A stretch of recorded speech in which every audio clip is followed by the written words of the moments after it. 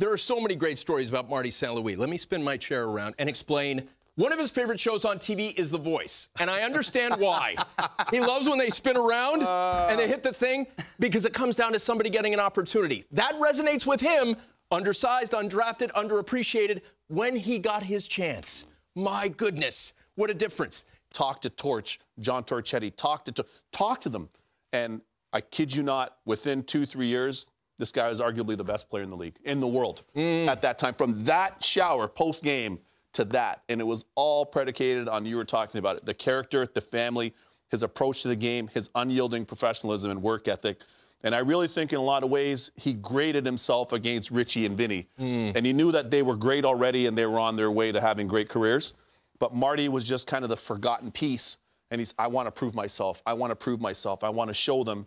And credit to the Tampa Bay Lightning organization as well. Jay Feaster, Rick Dudley at the time, uh, Torch, Steve Ludzik, John Tortorella. I mean, I can go on and on. Every one of them believed in him and allowed him to have that opportunity that he referenced in his speech tonight. Watching it unfold, you were gracious. What a player he was. Uh, absolutely incredible. I, I got to play a few games with him in Tampa Bay near the end of my career, and and the way he he was he was Reg Dunlop. He was a player coach. Uh, after every meeting, uh, Tocchet would turn and be like.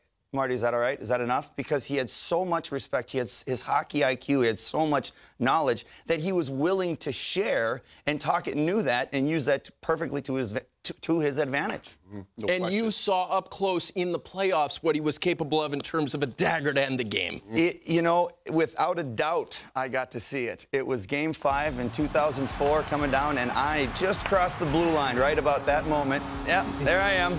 I got to, got to watch that, and it was one of those moments where in the game it's slow motion, where you saw him, the puck's on his stick, and you just know, not him, anybody but him, and game over, series over.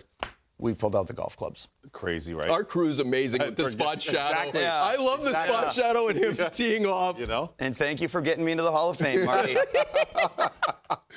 bring other guys along and help them hit their level of greatness. And not only the, the likes of Tyler Johnson and Steven Stamkos, but other players in the offseason training with Prentiss up in Connecticut. They've said, we want to measure ourselves against Marty St. Louis, Nathan Gerbe, Jonathan Quick, all these different guys that train up there. He really is uh, a lighthouse and a beacon for greatness in his own right.